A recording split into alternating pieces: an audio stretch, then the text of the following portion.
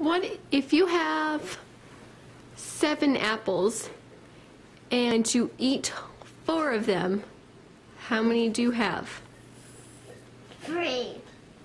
If you have five apples and I give you two more, how many do you have? Seven.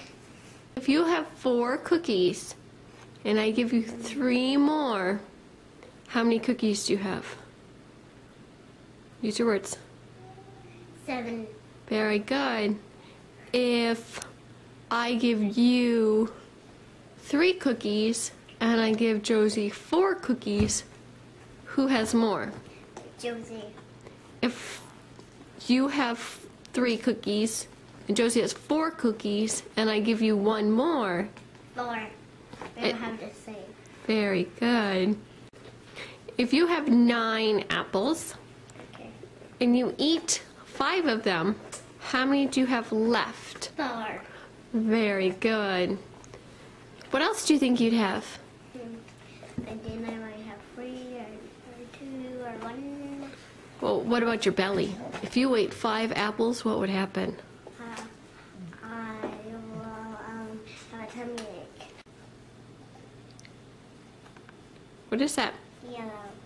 Can you show me blue? What about brown? Well, white. Very good.